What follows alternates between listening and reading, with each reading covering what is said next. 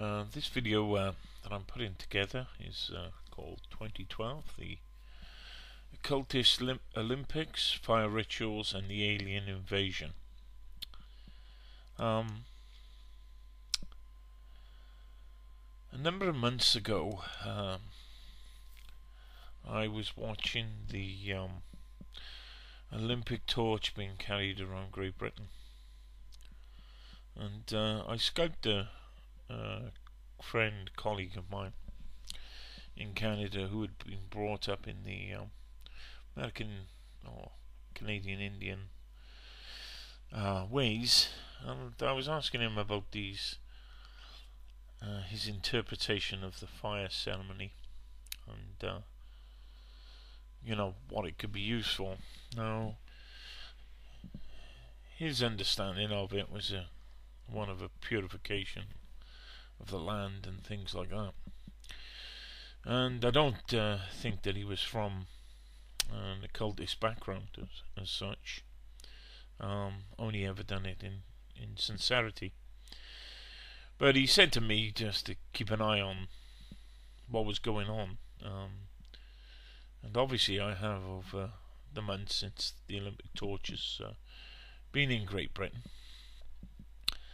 And I found it uh, rather disturbing what the the uh, BBC were delivering every day and the amount of footage on it. And uh, I found it rather strange, you know, it was whipped up um, beyond uh, beyond any logic. And um, I did a search and you can see the image here now. Um, uh, this is when the Olympic uh, flame was first lit um, before it came to Great Britain. And uh, the Guardian covers, I think it's the Guardian uh, covers this. And so this is what they they wrote about the ceremony of uh, of lighting the Olympic uh, torch. It was a majestic moment. The clouds came out and then they went back in. Between this, uh, in the moment, Ino Menegaki, uh, I don't know whether I pronounced that right, the highest of high priestesses, gathered before the great stone altar of the temple of Hera. Now we have a high priestess in the temple of Hera. So to me, this is now looking as a. I know this is the way that the Olympics have always been started. They seem to have been started for a long time. Uh, but it seems to me to be pretty, pretty odd. You have a high priestess and you have an altar, and uh, the son of Hera was Ares, uh, the Greek god of war, uh, one of the 12, uh, 12 Olympians. So, it, it, you know, you can understand that the Olympics, uh, you know, start in Greece, and you can understand that maybe this is this is nothing more than uh, just a dot too far of me looking at this fire ritual and saying, well, you know, there's high priestess, there's an altar, there's, you know, everything that the occultist will have. Um, but maybe, just maybe, it's uh, an overactive mind uh, joining some dots that uh, really didn't deserve to be joined together. So in that uh, in that article, um, uh, Lord Coe. uh, there's a quote from Lord Coe. Now it's probably a misquote because it doesn't doesn't doesn't hold up, to be honest. He told the the crowd with the, the flame was a great connector between the ancient games and the modern games, cities, towns, villages across Greece and Britain. You know, we got the we got the death of Greece, and, and perhaps we got the the birth of Britain. If um, uh, I'll talk about that later in the talk. So the the thing that I found strange that uh, uh, Lord Coe or Sebastian Coe, uh, as I remember him, um, he is quoted as saying, now whether the Guardian have got this wrong, after 5,000 years, the Greeks are good at this sort of thing. Now, the exact origins of the games are shrouded in myth and legend, but records indicate they began at 776. So we're talking of 2,000 years, two and a half thousand years, not 5,000. The only thing that, um, sort of jumps out of me of uh, this 5,000 years is uh, the length of uh, a Mayan cycle, or a Yuga, or a Yuga cycle, whatever you, uh, however, however you would see it. And so this, you know, was a was a little bit confusing to me in in lots of ways. You know, I know I'm rambling a bit. I mean, they visited many, many, many, many parts of the country, and again, I uh, I did a search on it, and I mean, I didn't really need to because I've, you know, been force fed it for, for weeks. Turned up 152 million uh, results, and um, you know, we had our superstars, Beckham, children, uh, people in disabled in wheelchairs, you know, going around the streets, and um, you know, in the even in that image I put up for this video, you know, you've got three nymph virgin vestal virgins like lighting torches uh, in Greece. So, you know, there, there is a bit of symbology going on here that um, that is that to me looks very occultist. But you know, it uh, because it's come from from the ancient Olympics itself. Maybe you would expect that anyway. So you know, it's nothing. Um, but I had to laugh, you know, if it has got an occultist background, which, which of late I I, I probably think that it has. Um, I had to had to laugh at that uh, the Olympic torch has gone out so many times. I mean, it's been lashed by rain, and to me, it was uh, very funny. It was like a you know like the Earth consciousness, or the having to go back at the wackos. Um, but again, you know, it uh, it may be just the, the delusions of a, a person who um, who was trying to answer whether there was an occult um, tie-in to this uh, to this this Olympic Games. Uh, so what I did is uh, I just did a simple search, and um, in that search it turned up two million results. Um, and some very very interesting uh, details. In the Zion image came up. Uh, Ian Crane talks of that, and I found that pretty funny that uh, Ian Crane's in Aberfoyle tomorrow, and uh, I'll probably go and see him because I've never ever come across him in any shape or form. So this week I've watched two or three of his videos, and it's very very interesting. Uh, so now the dots, are, you know, are being filled in by, you know, various different people who are you know, saying, well, you know, there is an occultist tie into the uh, Olympic Games, and it isn't just as simple as, as what you would look on the surface. Again, all generated by me looking at the Olympic torch and looking at it and thinking, well, what the bloody hell is this fuss about? You know, why are we being forced force fed this?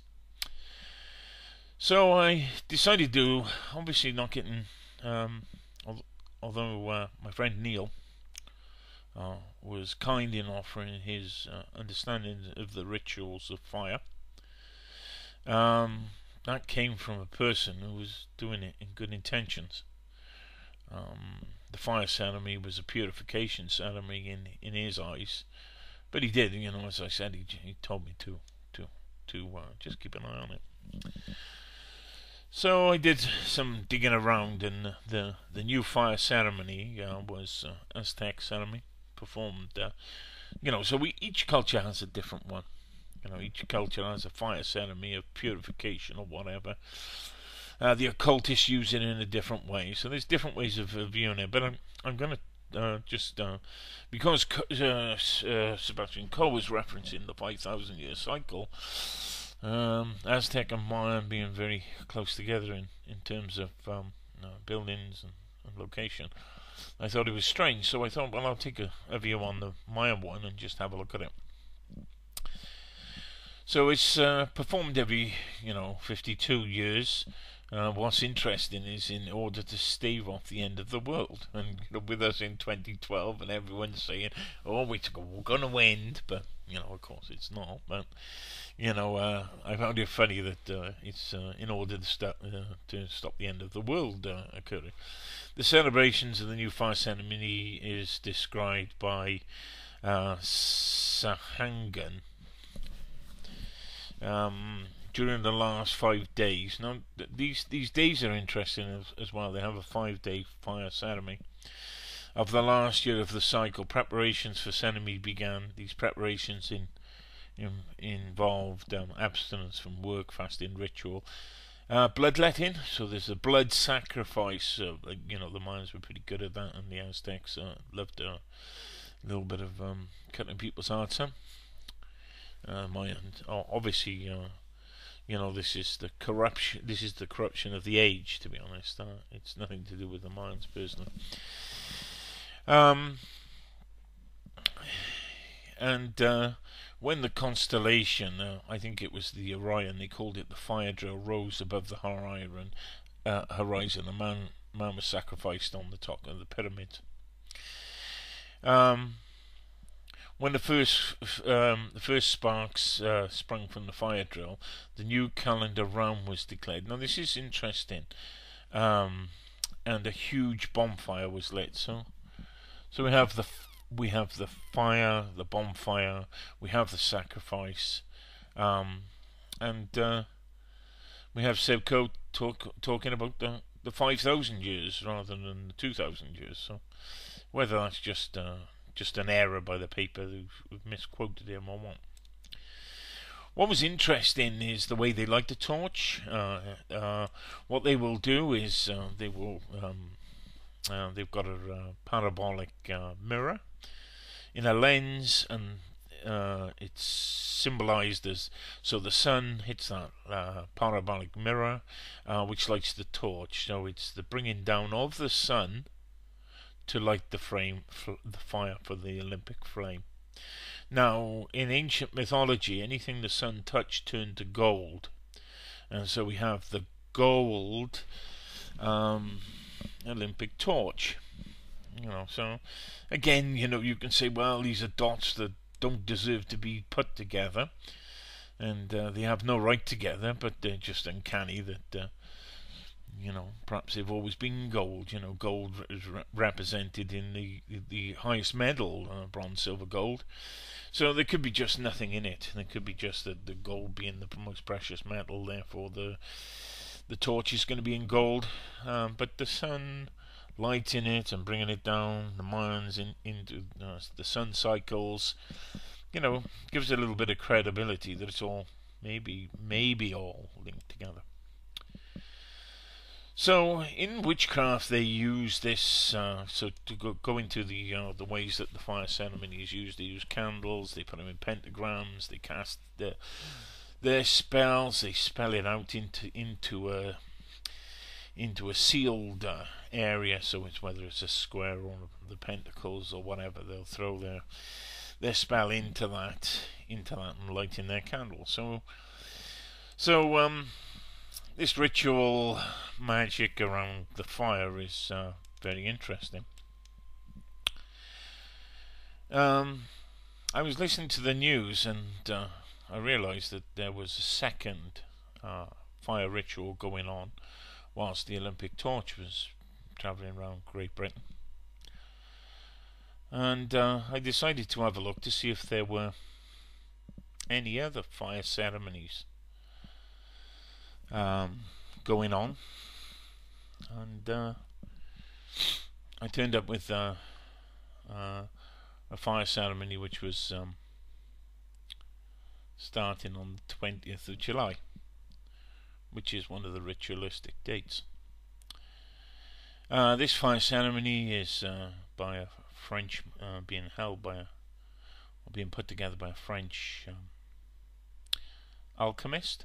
So he's obviously somewhat into the occult, called Carabosse. Now, um, uh, I was a little bit taken back by this because I didn't want to see crap like this, you know. Um, I'm a man of compassion and love, and you know, these fire ceremonies, uh, you know, you know, again, you know, not not that I'm overly concerned about anything, but uh, you know, just a little bit annoying that people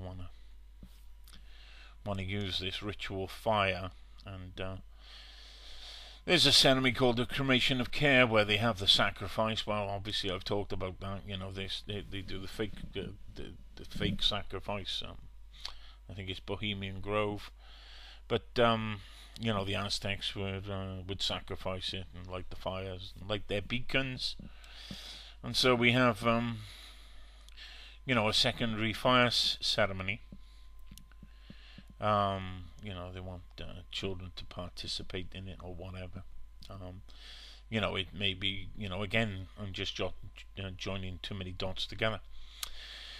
So I was digging around and came across a website, uh, so I'll quote it. Um, uh, you know, obviously I don't know the, the intentions of this individual as, as as such, but all I'm quoting it for is the the Prince Prince William, although um, uh, has been to one of these fire rituals by Carabosse. So, just so no one can, and this is his quote from uh, the new Spaceman uh, blogspot.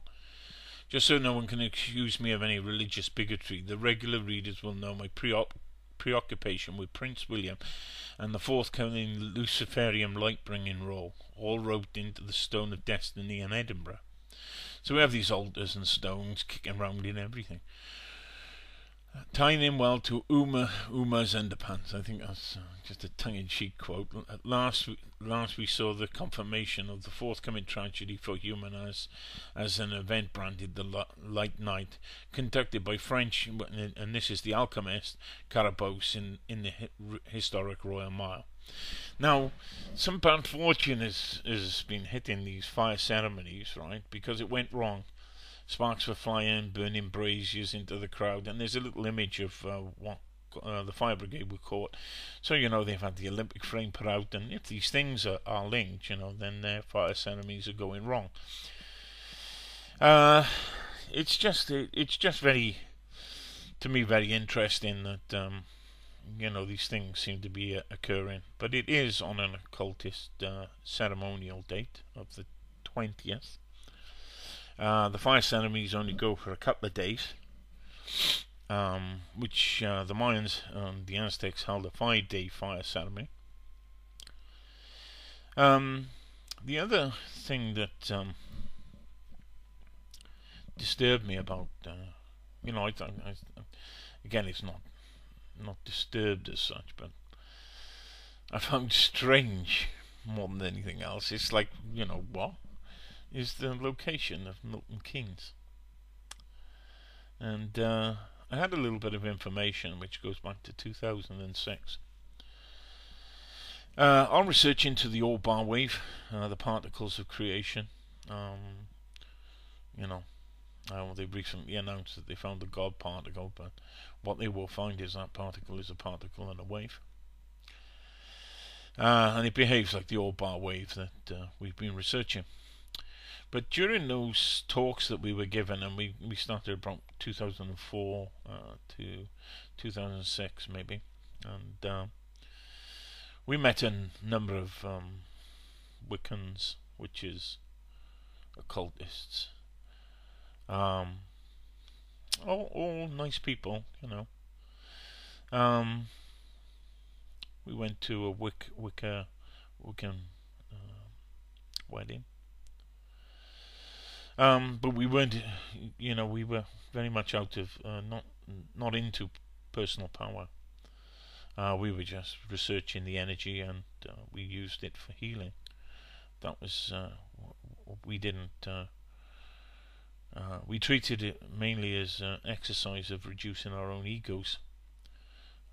Most people who cast spells cast them out of ego, and that is the thing to be avoided. But we were invited, um, and it was seen as uh, I, I take it that it was a, a, realistic invite, and I, I don't believe that the person was uh, misleading me in any way to the High Priestess of uh, Great Britain. Now, if this is true, the High Priestess of Great Britain, um, was in Milton Keynes, which I found particularly odd and didn't understand it. So this fire ceremony taking place in Milton Keynes, you know, with this high priestess starting the Olympics, um, got me a little bit uh, like confused. You know, I'm thinking, well, you know, how do all these uh, synchronistic events just come together? You know, this this was.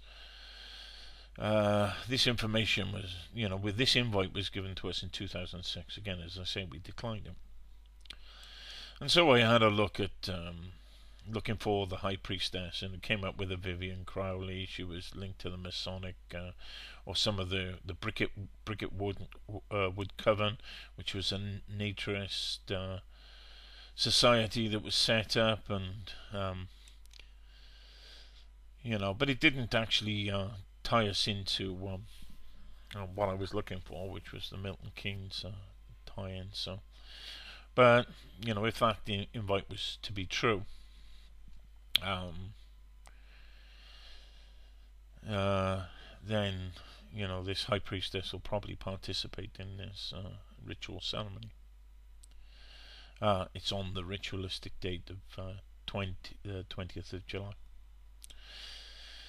What also was interesting with this uh, Milton Keynes Festival is they were bringing an inflatable, no, this is, I mean, inflatable, bouncy castle of Stonehenge.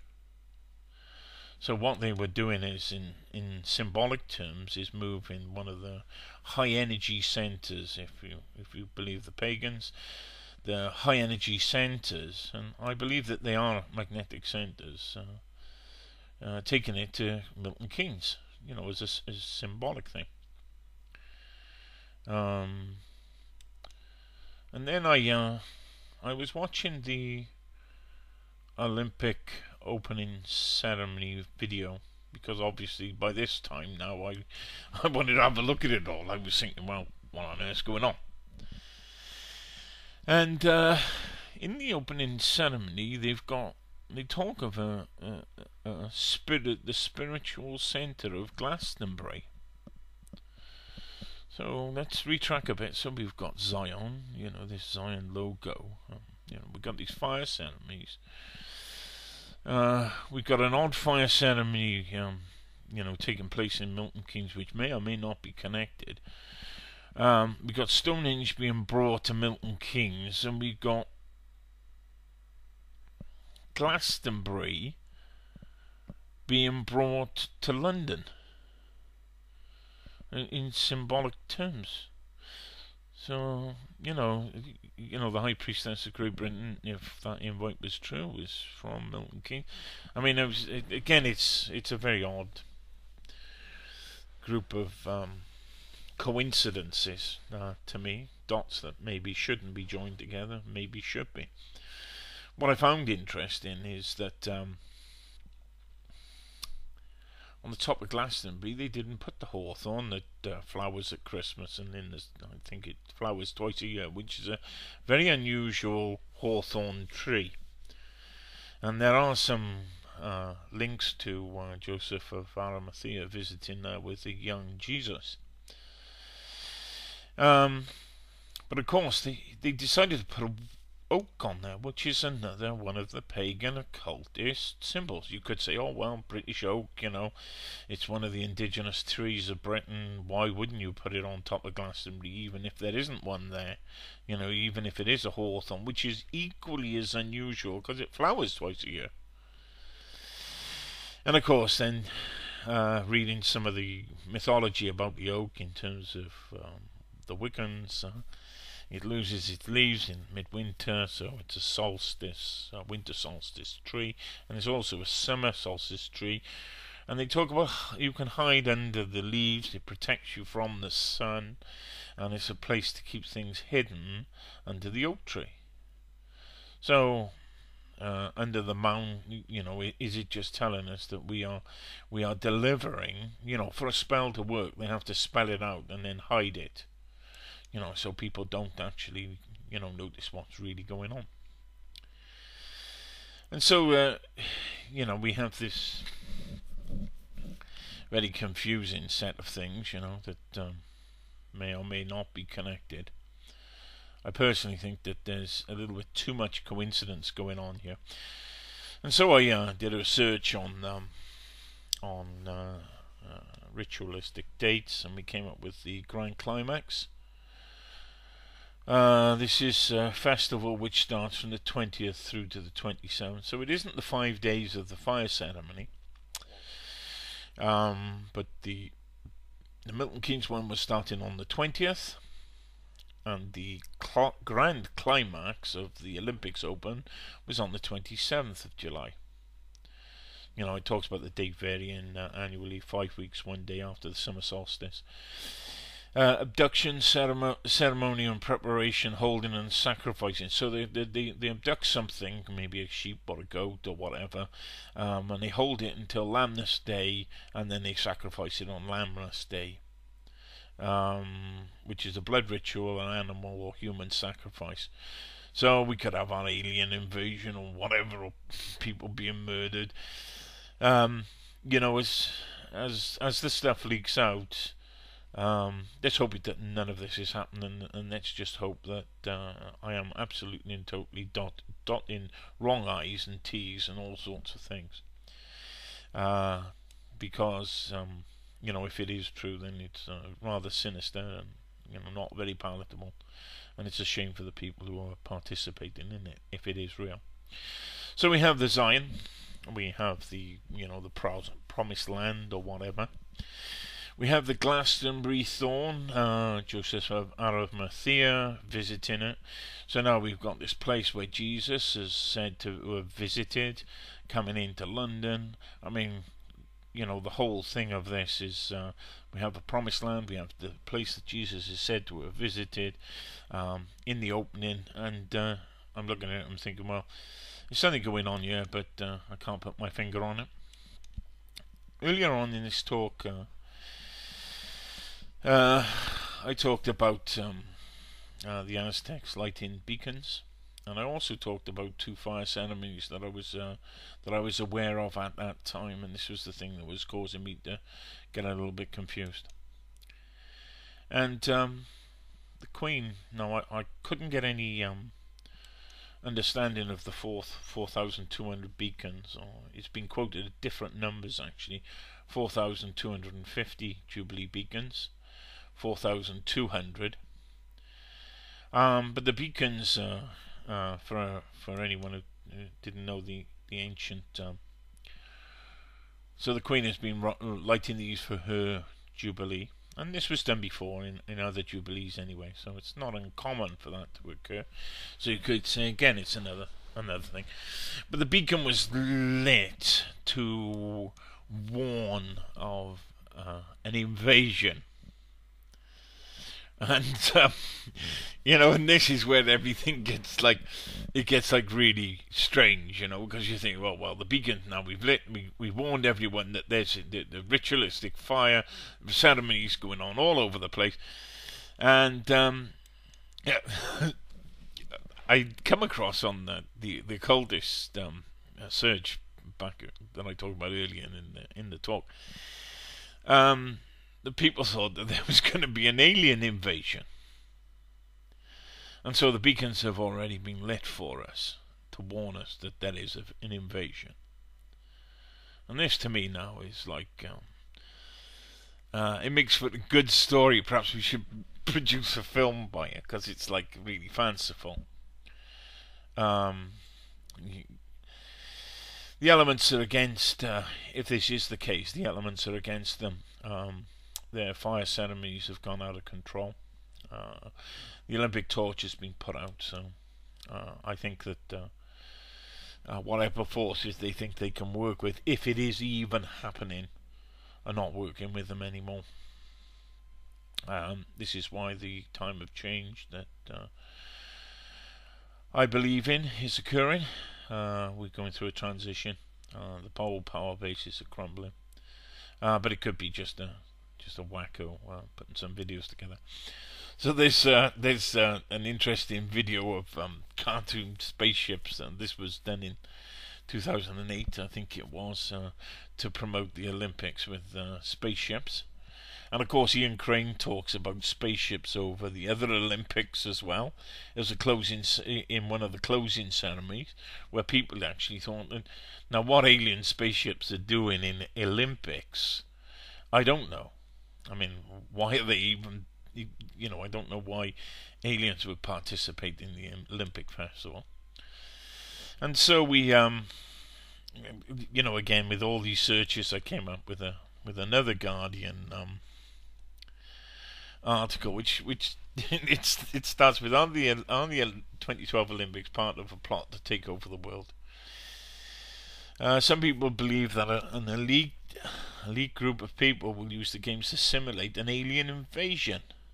So we have the beacons ready for this invasion in a plan for global dominance. The basic scenario goes something like this: While the world's eyes are on London 2012, this is the Guardian now, not me. Um, a spectacular alien invasion would take place at the Olympic Stadium, or so the public will think.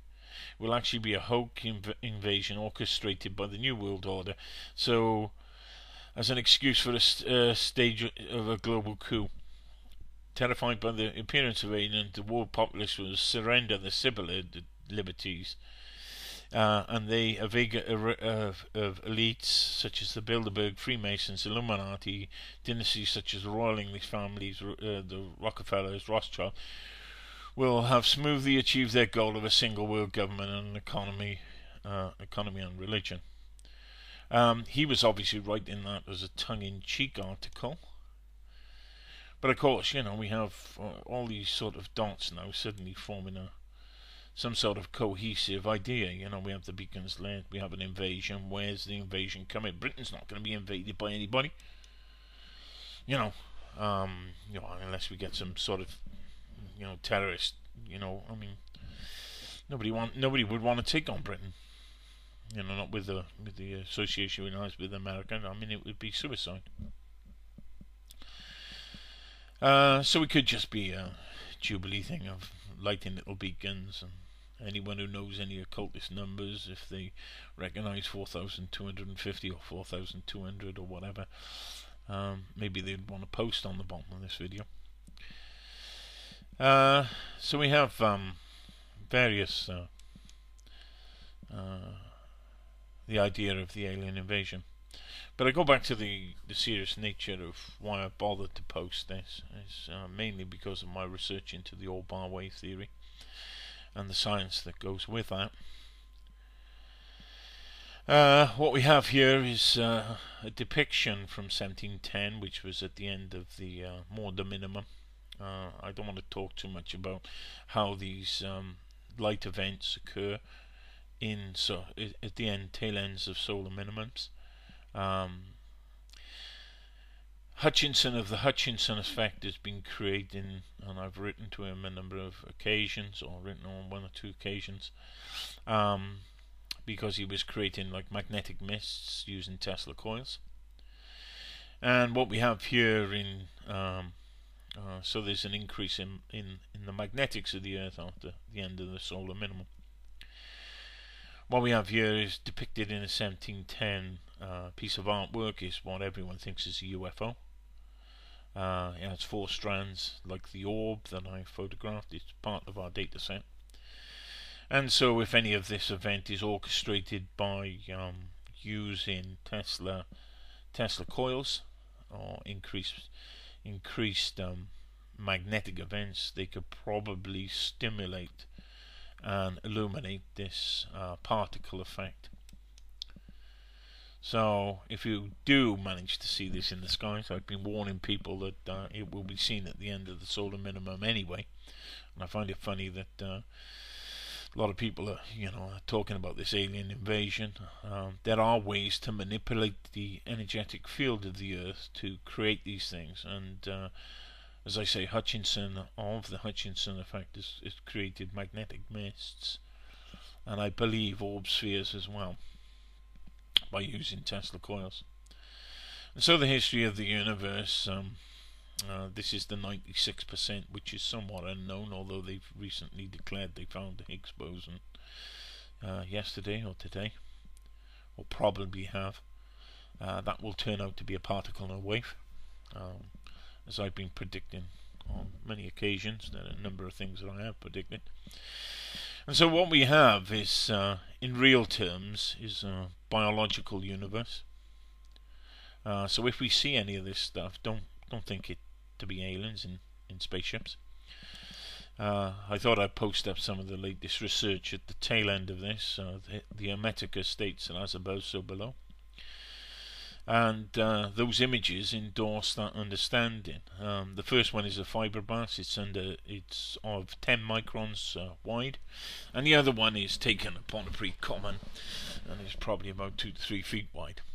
Although I, you know, there's no way of truly scaling these uh, massless particles. All I know is that they they are at distance from the lens, and we've proved that through the science.